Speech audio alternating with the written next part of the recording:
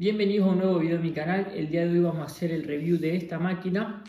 Y qué mejor para hacerlo que haciendo una comparación con esta máquina. Esta máquina es una máquina china contra esta que es una máquina de primera marca, una máquina buenísima que ya habíamos hecho el review anteriormente. Así que bueno, vamos a hacer una cosa. Yo voy a ir diciendo las cosas positivas de cada una de las dos máquinas y vamos a ver cuál de las dos juntas mayores puntos positivos. Así que bueno, vamos a empezar.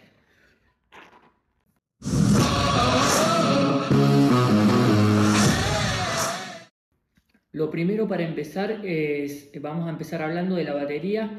En este caso, eh, la Kemei 2299 me ha, me ha rendido bastante bien porque la he usado dos días de trabajo consecutivos sin cargarla, o sea, la, la, usé hasta que se descargó completamente y alcanzó a dos días. En cuanto a esta, que es la JRL, solo me alcanza para un solo día pero también hay que tener en cuenta de que la JRL trae la base de carga y la Kemei no. En este caso el punto se lo voy a dar a Kemei porque obviamente me rindió mucho más y la base de carga no viene incluida en la caja, es decir, que hay que comprarla aparte.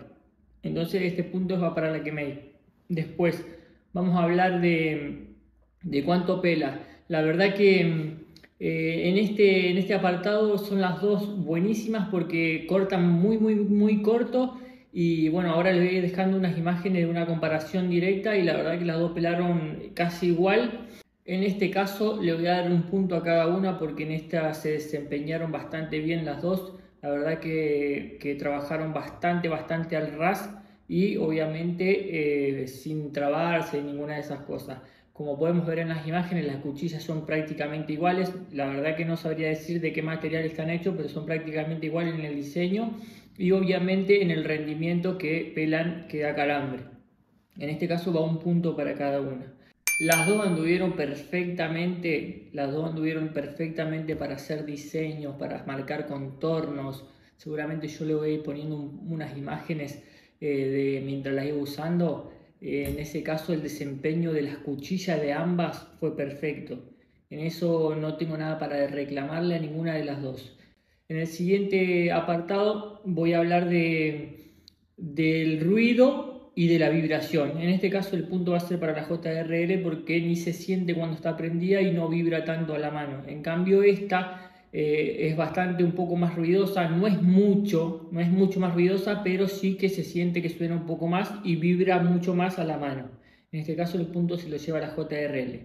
Debo, debo destacar de que esta obviamente la quemé y la llevo usando dos semanas y esta eh, la llevo usando una buena cantidad de meses.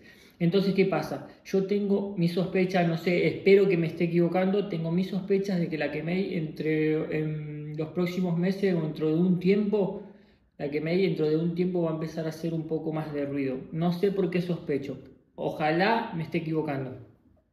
Después, en ese caso, el punto va para la JRL.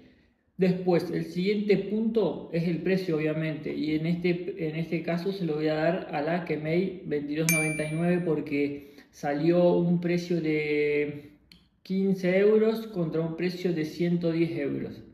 Obviamente, en este, en este caso se lo voy a dar a la Kemei porque, ¿qué pasa? Está compitiendo directamente con una máquina que es de primera marca y lo hace de manera perfecta. No me importa de que esta máquina no rinda tanto en el tiempo. Con el precio que compro una de estas, eh, me compro como 9 o 8 de estas. Entonces, en el caso que se me rompa la que me, me la vuelvo a comprar y obviamente tengo como para comprarla 9 veces más y amortizaría el precio de esta. Pero sí que obviamente seguramente no serán los mismos componentes con que diseñan y arman una y la otra. En el próximo apartado vamos a hablar del diseño y del peso.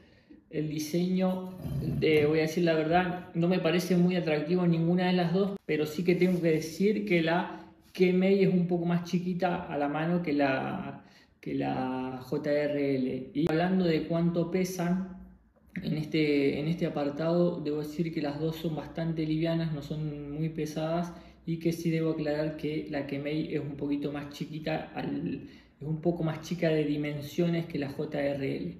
Pero en este caso, como no me gusta, o sea, a mí personalmente no me gusta tanto el diseño de ninguna de las dos, no le voy a dar ningún punto a ninguna de las dos. pero están aceptables obviamente. Tengo que aclarar y decir que obviamente esto es una apreciación personal y que también eh, me gustaría leer sus comentarios y qué opinan debajo. ¿Se comprarían esta o se comprarían esta? Los leo si recordás suscribirte al canal.